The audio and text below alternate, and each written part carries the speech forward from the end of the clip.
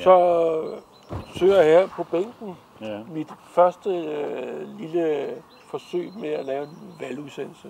Mm. Og jeg har fundet en borger og en gammel ven fra Nej. dengang vi lavede beboerblad. Blad. Ja, ja. Og han har lyst til at deltage i mit lille videoforsøg Ja. med at tale politik op til valget. Ja, ja. Og Carsten, hvad, hvor mange tror du, vi når at få lavet inden Lars Løkke trykker på sin valgknap?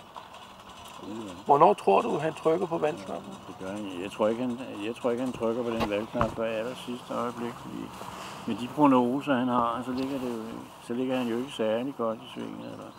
Så venter han jo, at det kunne være, at han kom til at ligge en lille smule under i svingen, især hvis han fik noget pensionspakke igennem, eller et eller andet øh, pakke. kan Men inden vi begynder på dagens emne, Ja, vil du så ikke fortælle os, hvad for en bænk vi søger på, Jo. hvor vi er henne, Jo. og hvem der har tegnet og Ja, fortalt ja. den?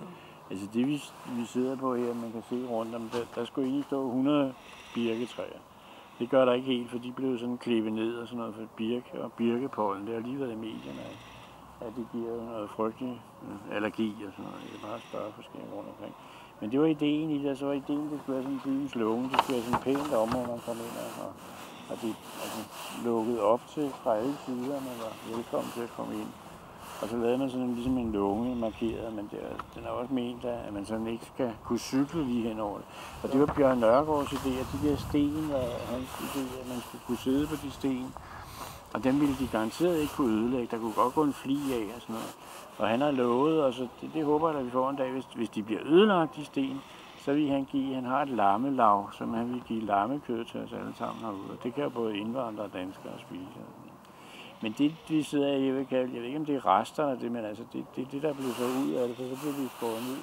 Men altså, nogle af dem står meget kønt og flot, og så de her rundt omkring, men det var så byen. Og så var ideen jo samtidig, at han fandt 10 kunstnere, som har udsmykket Vejlåparken, og det er jo ikke alle, der er klar over det. Nogen tror bare, det er sten på sten, der er, men det, det er faktisk kunstnere, der, så det er kunststuderende, der har, har lavet det her projekt ned af. Hvis det stod til mig, så var det jo fint, hvis der stod sådan en lille tavle, så man kunne se, hvad, hvem de kunstnere var, og hvad de eventuelt var blevet.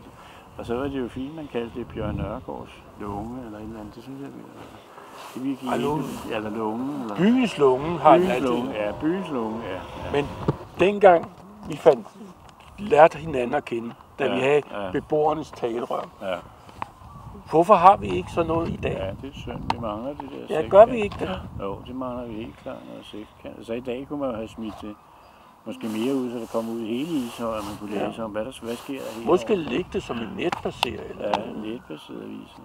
Det er jo noget, jeg tit tænker på. Altså, altså, vi, altså nu bor jeg selv over i den anden del af det, og hvis man ikke sådan lige snakker med nogen herovre, så ved man faktisk ikke, hvad der rører sig i den ene, eller- eller over i Vildbanegård. Altså, man ved sådan, det er sådan lidt op og ned tilfældigt, og man, man hører rundt omkring, hvad der sker og sådan noget. Ikke? Og der kunne det være rart netop med sådan en blad, ikke? at man lavede nogle ting. Ikke? Og så i hele taget, altså, opdatere, altså, så man fik noget mere, øh, sige, altså de der kvarterhus blev rigtige kvarterhus, hvor der virkelig skete nogle aktiviteter i. Ikke? Altså folk kunne, kunne komme, og der må være en masse jo indvandrere, der måske kunne tænke sig nogle bedre danskkurser og sådan noget. Så, det synes jeg, det er jo en, ellers en dejlig fornøjelse, for eksempel at komme ned til købmanden, hvor man oplever en, hvad skal man kalde det, en multikulturel købmand, kan man kalde det. Altså, der er både danske Mm. varer og udenlandske varer. Jeg synes, det er meget spændende at se alt det der. Og der kommer jo mange danskere stadig, altså, så, øh, der handler og Ja. Men øh, nu har vi fået Ja. fortalt ja. byens lunge, ja, og, ja, og nu lad os øh, komme tilbage til det, vi var her for. ja, At ja. tale lidt Politik. Politik. Ja, ja.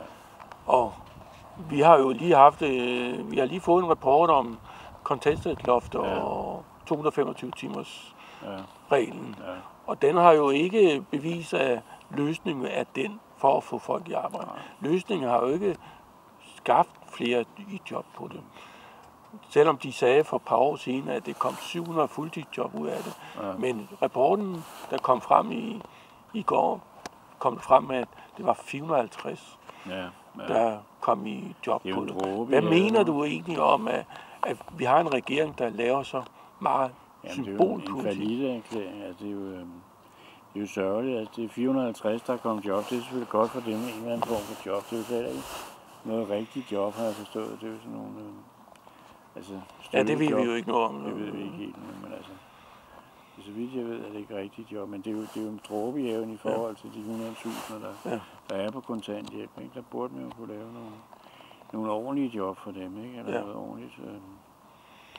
Altså, Og tænk på alle de børn, som egentlig der mangler, ikke? Og man, der mangler jo sygeplejersker, der mangler jo kvalificerede læger, ikke? Og der er jo også mange, altså skoler for eksempel, de kunne have brug for nogen, der kom ud og fortalte om, hvordan det var.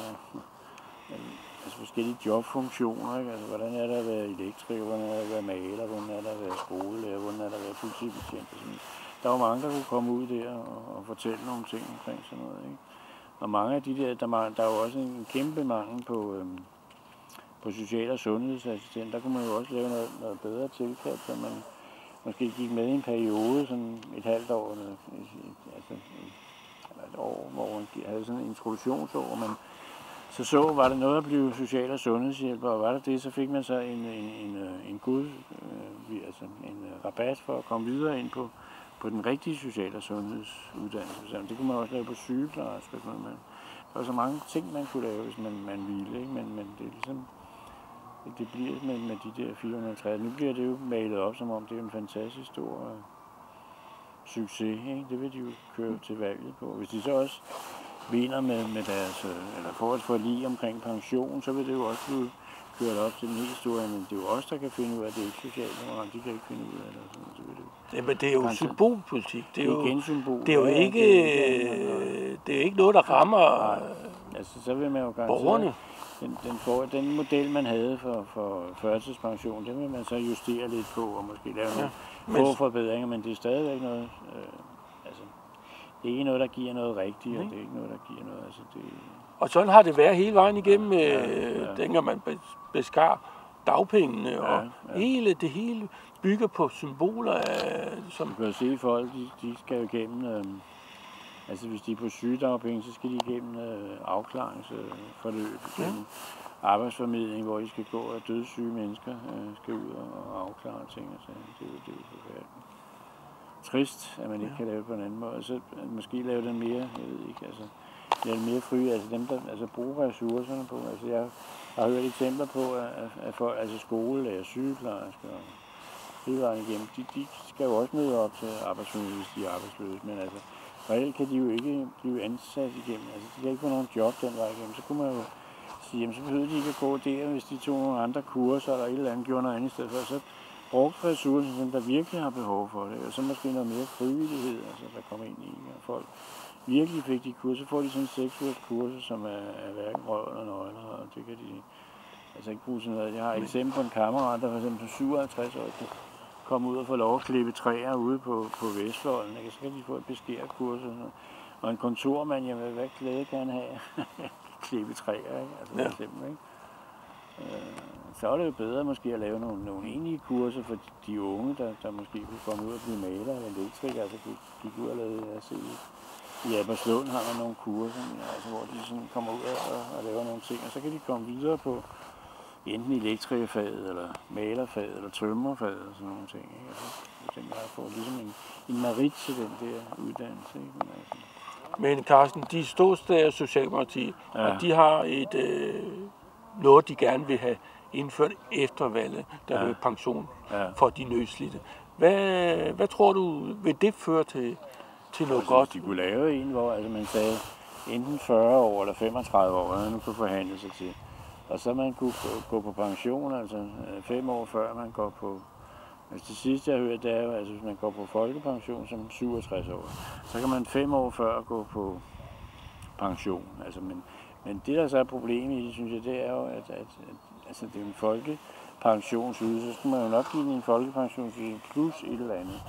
Og der kunne min idé måske være, at folk altså selv forsikrede sig sådan, at de fem år så kunne få, ligesom man har med lønforsikring, man kunne få, altså måske have en 1000 mere om måneden, eller 2000 mere om måneden, alt efter hvad forsikre sig på, så burde den måske være lidt højere for dem, der var meget nedslidt. Ikke? Det er jo ikke sjovt at gå ned på, på, på sådan en lav ydelse. Men altså i grundideen synes jeg er god, at man siger, dem, der er meget nedslidte, har de har været i 35-40 år. Øh, altså jord- og betonarbejdere, eller industriarbejdere, nogen, der arbejder med, med tunge løft videre.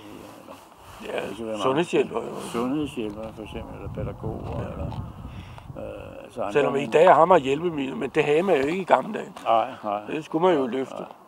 Men altså grundideen med, at man, altså grundideen er jo så, at man, man har det som et valg, ligesom man kan få efterløn, ikke? Altså en vis antal år, så kan du få, få ikke efterløn, men altså en ny førtidspension. Den er jo god i forhold til de borgerlige, hvor man igen skal til 117 lægetjek mig her og der. Og, så der tror jeg, altså grundideen er meget, meget god, men så må man jo så forhandle sig til et eller andet Ja. lidt højere end en pension, altså en, en, en folkepension, hvis man kan gøre det. Man kunne måske også forestille sig, altså, man, hvis man øh, kun tog den i, i tre år, så fik man en højere ydelse, og hvis man tog den i alle fem år, så blev den lidt lavere. Altså, der er jo mange muligheder for en eller anden model, at man laver det på. Men nu har de jo også sagt, at, at den skal laves øh, sammen med ja, arbejdsgiver så, så, er det jo vigtigt, så er det jo vigtigt, at man får den lavet sammen med Dansk Folkeparti, Venstre og Konservative, som får et bredt forlig, for det nytter ikke noget, at Socialdemokratiet laver noget med Dansk Folkeparti. Så efter valget, så bliver det igen nedstemt måske, hvis, hvis det det. Det skal være noget, nogle holdbare løsninger. Ja. Ja. Og ideen ville også være, altså hvis man kunne forhandle sig til noget nu, som var, var bedre, men det var nok svært. Altså, det, altså, så er det jo et valgår, hvor, hvor alle lover noget, mm. ikke? Altså, så se som i, i, i morgen, så kunne du få gratis tandlæge, hvis du stemte på Alternativet. Ikke? Så var der pludselig, men hvor skal pengene komme fra? Ikke? Det glemmer de jo lidt at fortælle nogle gange. Ikke?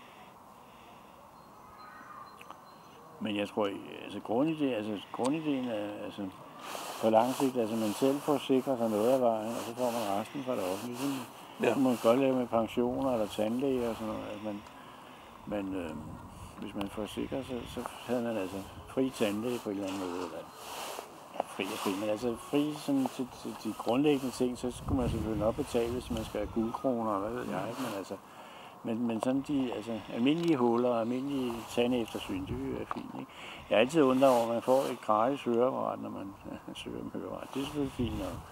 Men øh, hvorfor skal det være gratis? Altså, der kunne man måske lave noget regulering på, så man sagde, at høreapparat, det koster så måske et par tusind, giver man til gengæld så, så bliver der altså øh, ja, ikke fri tandlæge, men det kunne man måske bruge de penge til, til noget tandeftersyn og sådan noget, folk kunne få noget bedre der. Den vej, ikke?